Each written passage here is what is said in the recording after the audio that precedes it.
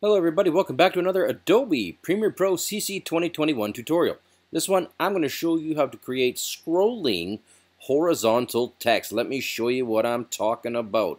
hit spacebar here, and this is a very handsome dog. You'll see here that the text is scrolling in from the right to the left, and this dog likes to smell flowers. Now, that can be done very, very easily inside Premiere Pro. Let me show you from the beginning. The first step here is you'll notice here that I've just got some footage loaded in. The second step is I'm going to assume you're working in the editing space. The second step here is you want to go to your toolbar, go to the type tool, left click on it, and then let's start typing in some stuff. Now, I've got some content right here. This is a handsome dog, something, something, something, something. He likes to smell flowers. I've got that. I Command C or copied it, and then I'm going to Command V and paste it in. Now, this is obviously not exactly where I want it, but we are on our way. I'm going to now click back to the selection tool and I'm going to move it down a little bit somewhere where I like it, right about here. Okay, now for the text, you'll notice here that I put it in and it looks like it's a second long. I generally recommend that you slide this out so the text is as long as your footage if you're following along with me. Now, the footage, the text is not moving, not to worry. The next step is we're going to switch from the editing to the graphics uh, workspace. When you do that, you're going to most likely see Essential Graphics. If you don't see Essential Graphics, go to Window and make sure there's a check mark beside it, Essential Graphics, right there. Now, you're going to see a few things here. On the right side, we're going to have the text that you wrote in. This is it. This is a very handsome dog.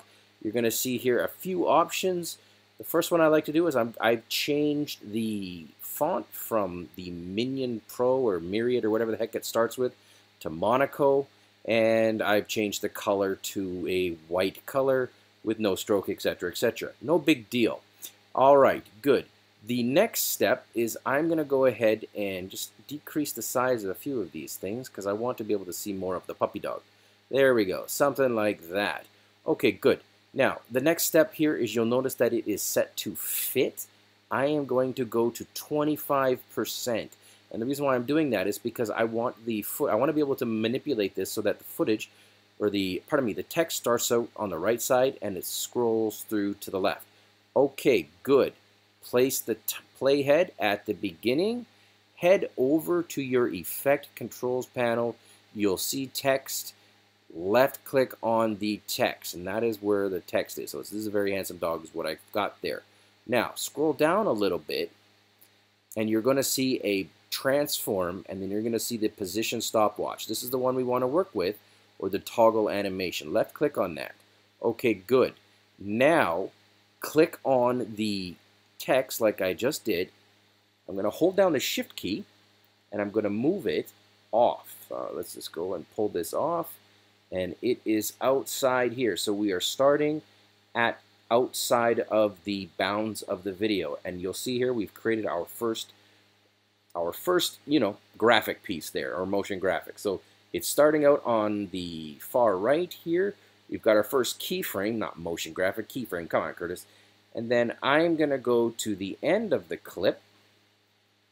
And I'm going to push back one frame and I am going to move this now all the way across. Now, if you hold down the shift key, it goes across without going up or down. It goes across just perfectly. So I'm just going to push it off to the left side, holding down the shift key again, and it goes outside to the left. So let's see what we got here. I'm going to move to the beginning.